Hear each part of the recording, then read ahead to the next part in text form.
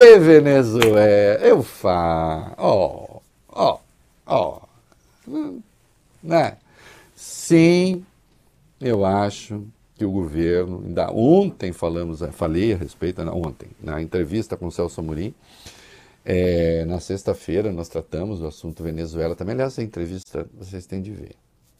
Para concordar, para discordar, para tudo. Para se instruir. É, ainda falamos de Venezuela. Tá? Hum. Hum. Era. O Supremo Tribunal da Venezuela suspendeu hoje todos os efeitos das primárias da oposição uma semana após a disputa. A corte do país tomou a decisão depois de acusações do governo de Nicolás Maduro sobre fraudes na corrida eleitoral.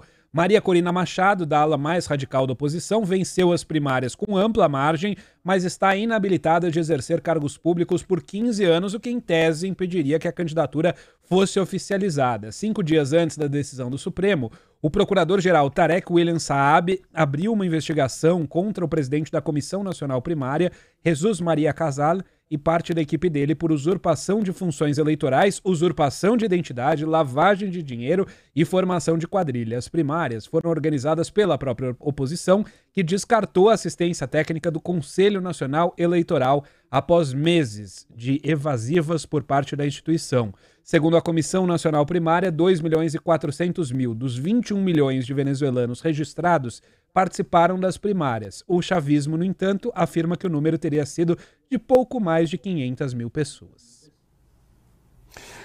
Olha aqui, evidentemente, fosse uma democracia, houvesse uma justiça eleitoral independente, como há no Brasil, mas é bom, devem ter transgredido a lei, alguma coisa. Né? Porque onde há justiça eleitoral, onde há esse tipo de consulta, sim, está sujeita ali a, a ser avaliada pela justiça. Agora, como, como acreditar nisso? Como acreditar? Inexiste é, democracia na Venezuela, inexiste qualquer forma de conter, por enquanto, a vontade do governo, e me parece que o encontro que houve entre oposição e governo começa a fazer água. Eu sinceramente duvido de que, havendo eleições livres, o Maduro consiga se reeleger ou quem quer que ele indique, se ele indicar alguém. Né? A situação do país é muito difícil. Né? E a diferença do que querem alguns, e eu acho que a condescendência com a ditadura da Venezuela, a condescendência com a ditadura da Nicarágua, são erros tão grotescos que alguns setores da esquerda cometem, né? não são todos, mas alguns cometem, que assim, que eu acho, eu acho impressionante que não perceba, que não perceba o seguinte, não está endossando um regime em que se está fazendo uma experiência virtuosa de governo, boa para as pessoas, humanista, o que quer que seja, e dois, prejudica, contamina de algum jeito o próprio debate interno. Né? Então, sim, eu acho que o governo Lula faz muito bem em continuar a investir na tentativa da realização de eleições livres na Venezuela. Vocês sabem que eu não apoiei aquela porra louquice de tentar é, é, botar o Juan Guaidó como presidente da Venezuela. Presidente de coisa nenhuma, eu até tirava o sarro dele. Né, que eu dizia que ele. Lembra? Ele, tenta, ele tentava fazer poses à, moda Obama, né? Assim, aquela coisa do queixo, sempre assim. Né, que, eu, que eu chamo de gente que tem queixo de estátua. Ah, você tem inveja porque você não tem tanto queixo. Pode até ser. Também, Larissa, não descarta. Né?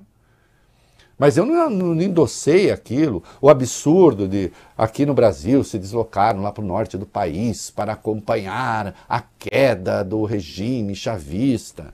Né? Por pouco não se faz uma grande besteira ali. Né? Agora, obviamente, diante de coisas como essa, deve-se buscar, sim, sem dúvida nenhuma, a distensão e o entendimento entre a oposição e o governo.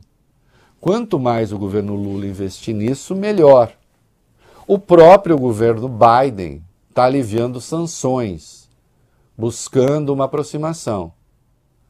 Agora, sempre será preciso tomar muito cuidado quando se tratar de endossar um regime ou de se aproximar de um regime, ou de achar então que, olha, é, de fato o Maduro está. Por enquanto ele não está tentando nada, por enquanto há declarações, só declarações, e me parece que no primeiro teste já está sendo devidamente reprovado. porque, afinal de contas, se trata de um regime ditatorial, com controle absoluto da imprensa, que tem a ousadia de dizer, inclusive na oposição, quem é que pode e quem não pode fazer as coisas.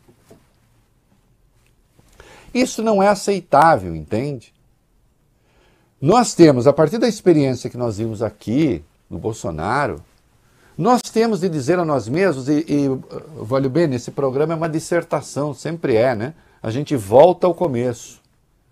O que é que eu disse sobre o bolsonarismo, sobre um ano da vitória do Lula? Foi a vitória da democracia. Não existe democracia mais ou menos. A democracia que não garante as liberdades políticas, a democracia que não, o regime que não garante as liberdades políticas, o regime que não garante as liberdades individuais e que não cobra ao mesmo tempo responsabilidade pelo exercício dessas liberdades, democrático não é e nós somos.